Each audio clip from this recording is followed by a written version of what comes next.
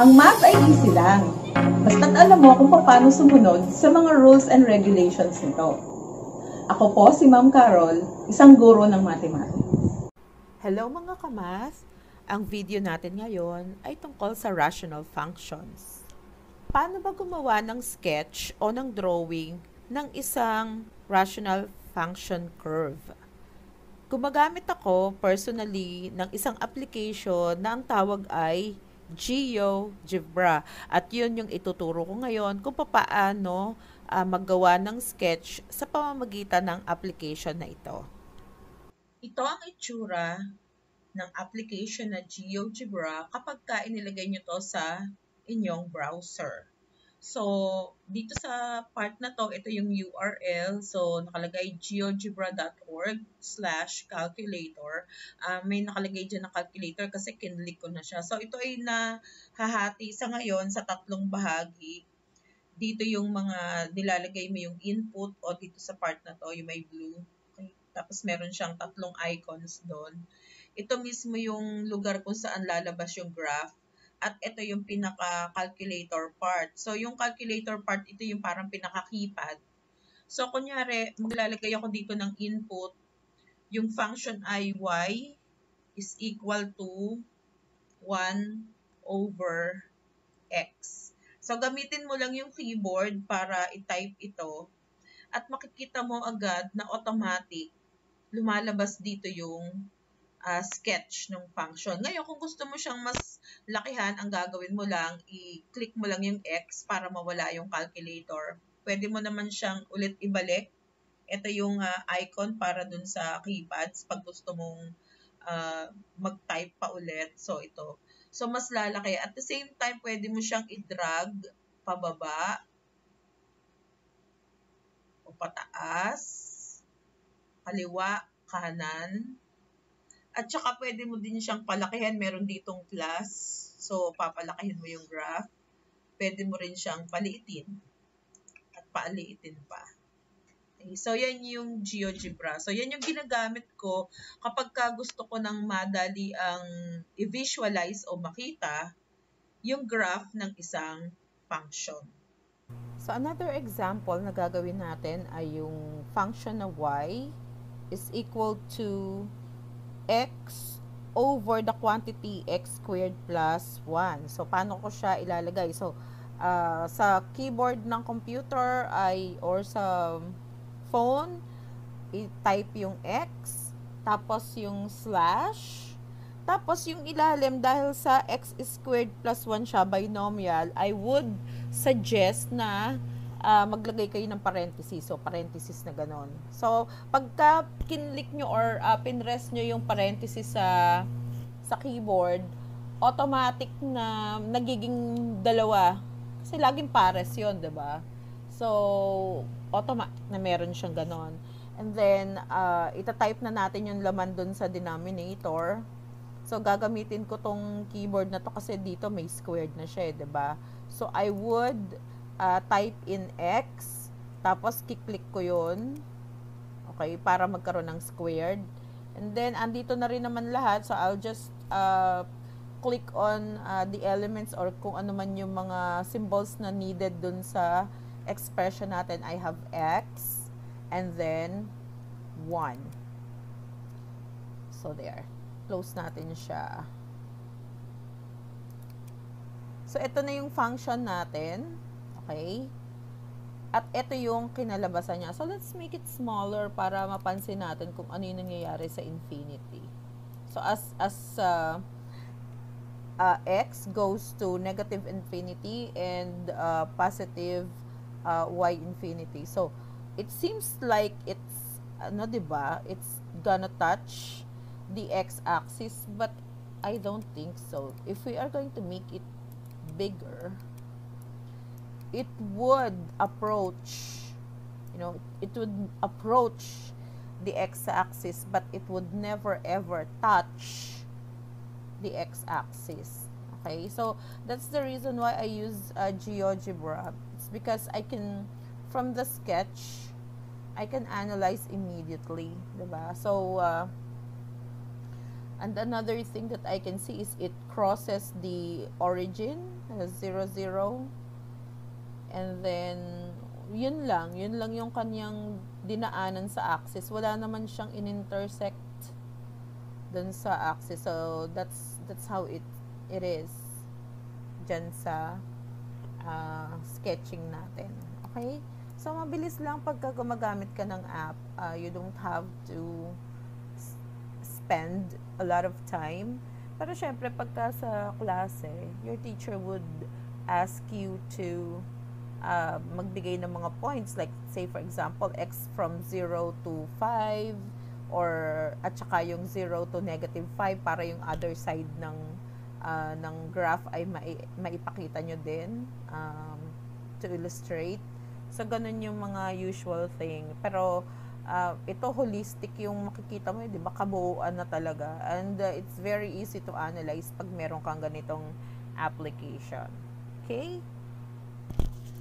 So let us now analyze the function y is equal to 1 over x. For the analysis, uh, pag-aaralan natin yung asymptotes, yung x and y intercept, at saka yung domain and range of the rational function. So let's start with the asymptotes. Asymptotes are vertical and horizontal lines. Vertical lines or of the general form x is equal to a where a is a constant. So, napapalitan to ng number. Pwedeng 1, pwedeng 2, pwedeng negative, pwedeng 0. So, yun namang horizontal asymptote ang general form niya is the equation y is equal to b, wherein b is also a constant. So, pwede din negative, kunyari negative 1 or negative 3, negative 1 half, pwede ding 0, at pwede ding positive number. Okay? So, para dun sa ating example na y is equal to 1 over x, ang asymptotes niya ay x is equal to 0 para sa vertical. So, ang vertical, ibig sabihin yung nakatayong line. Ano ibig sabihin ng vertical asymptote? Itong vertical asymptote, mapapansin natin, itong ating pinaka-graph, nag-a-approach siya sa positive um, x, I'm sorry, positive y-axis, lumalapit siya. Pero, kahit kailan hindi niya matatouch yung uh, vertical line na ito. At the same time, yung kalahati ng graph, pababa, ba diba? So, it would approach itong vertical line na to. Pero, never ever, kahit sa, pa, sa infinity, na matatouch niya. So, it would approach, but it will never touch. Yun yung ibig sabihin ng asymptote. Lumalapit pero hindi mapapadikit. So, anong equation ng vertical asymptote na to? 'Di ba sabi natin x is equal to a. So, ito yung x-axis. Saan siya naka-intersect? 'Di ba sa 0? So, x is equal to 0. Kaya ito siya. That's our vertical asymptote. Now, for the horizontal asymptote wherein y is equal to b, ito yung horizontal line. So, the graph at this point dito sa, sa quadrant 1, it approaches this line, yung nakahiga, as, ano, as na mag-assume siya ng positive infinity, it would only approach but it will never touch. Same thing with this other half, pag pumunta pa siya sa negative infinity na yon, it would only approach but it will never touch. Therefore, so y is equal to b. So, anong value ng y na to? Di ba ito yung y-axis? So, saan siya nakatapat? Sa 0. So, y is equal to 0 is another asymptote. So, for this uh, equation, y is equal to 1 over x, it has two asymptotes y is equal to 0 and y, I'm sorry, x is equal to 0 and y is equal to 0. So, dalawa. Now, pagdating naman dun sa intercept, so ito yung sinasabi natin na makocross niya or matatouch niya yung x-axis at saka y-axis. Pero kitang-kita naman dun sa sketch natin na 'di ba sabi nga natin, it approaches but it will never touch. So there would never be an x or a y intercept for this graph. Bakit? Kasi ang general uh, expression ng x-intercept ay c0 where c is a constant. So yung x-intercept niya yung kung saan uh, makokross niya yung x-axis, c0. Tapos, ito namang y-intercept, ang general form niya, 0, d. Laging may 0, 0 dyan sa pag sinabing intercept kasi point yan eh.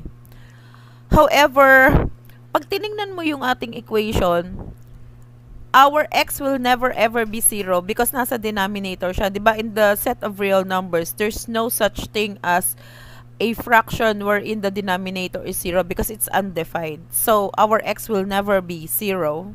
Kaya wala hindi pwedeng magkaroon ng 0 na x. So, wala na to. And then, yung y, magiging 0 ba siya?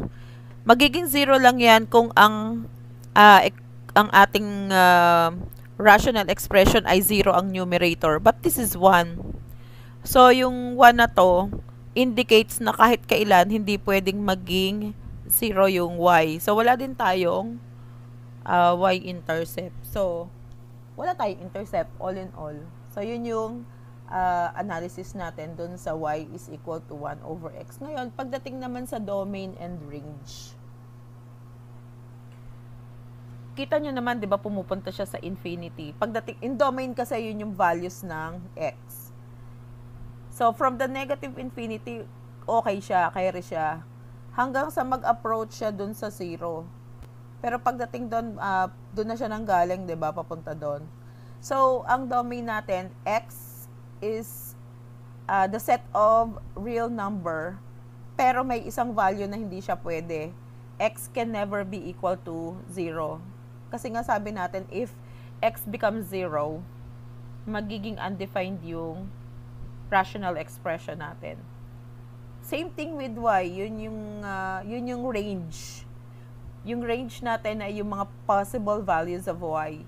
So, y can be anything except when y is equal to 0. So, now guys, let's do some shortcuts and techniques on finding horizontal asymptotes. Okay? So, ang una nating titingnan ay same degree, yung numerator and denominator. So, given our rational expression, so analyze natin, di ba? We got y is equal to 6x squared minus 3x plus 4 divided by 2x squared minus 8. So, ano yung sinasabing degree dito? Yung sinasabing same degree.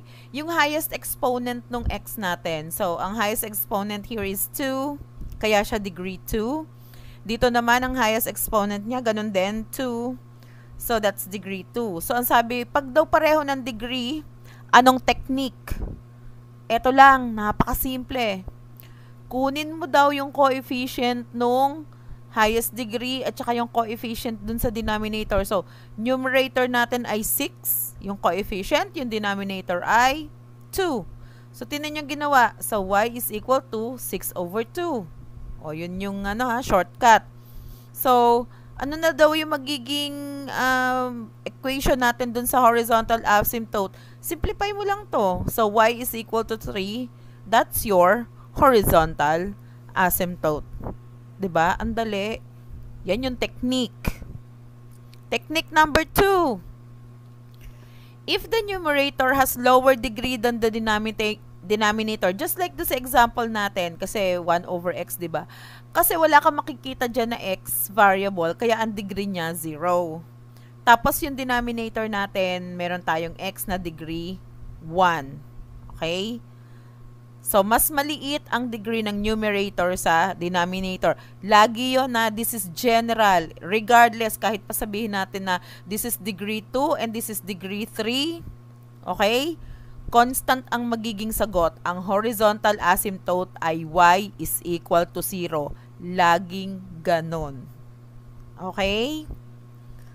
Technique number 3. If the numerator has higher degree than the denominator. So, in general, so example, we have x squared plus 1 with degree 2. Kasi yun yung, ano niyan, di ba, exponent. Over x with degree 1. Di ba kasi 1 yan? Oh, so, anong uh, tinitingnan natin? Yung degree ng numerator ay mas mataas sa degree ng denominator. Anong sagot? Lagi-laging ganon. There is no horizontal asymptote. Diba? Yun lang yung tatandaan nyo. So, we have technique 1, 2, and 3. That's when we do uh, finding the horizontal asymptote kung ang degree ay pareho. Mas mataas yung uh, denominator o mas mataas yung numerator. So, ayan yun, ha? Huwag nyong kakalimutan. Napakasimple.